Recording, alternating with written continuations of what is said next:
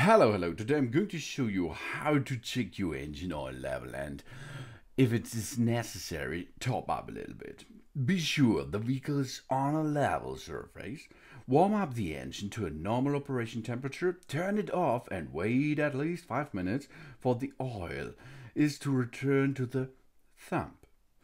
Then have a look at your Skyactiv engine in front of you and on the left side you can see two holes. On the left side is it's the dipstick. And the right side it is the area to top up the oil level okay? So the engine is warm but the engine is shut down before five minutes. Then switch the ignition off and we can start to check our engine oil level. Yeah, if you have a Skyactiv diesel, um, you will have another dipstick like this uh, with standard petrol. The standard petrol has a maximum and a minimum range. And the diesel has a maximum and minimum and an X mark. The first step we have to check is have a look at your cover of your engine oil top up area. If it is white or milky, you have a problem with water in your oil. But this looks really awesome and it looks okay. Take care, it should not be red, blue, yellow or white or cream. It should be black or brown. So here is the entrance for your oil to top it up if it is necessary. Let's check the oil level.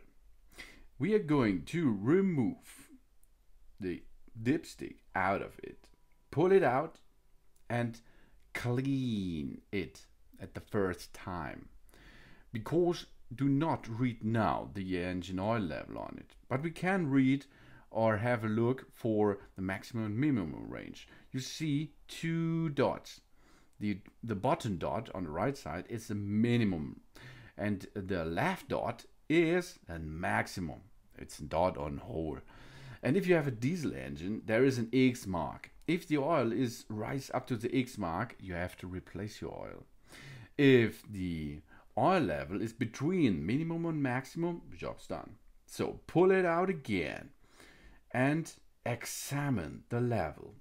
The level is normal if it is between the minimum and the maximum marks.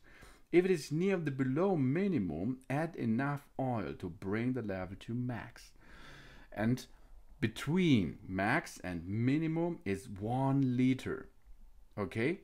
Here you can see it's nearly at the maximum range. Okay, that's okay, no problem. Make sure the O-ring in the dipstick is positioned properly before reinserting the dipstick. Clean the dipstick again and you can now top up a little bit if you like on the right hole, not in the left dipstick hole, of course. And in this case, it's everything is good. Then reinstall the dipstick fully, job's done. That it is. Okay, between maximum and minimum, your oil level should be.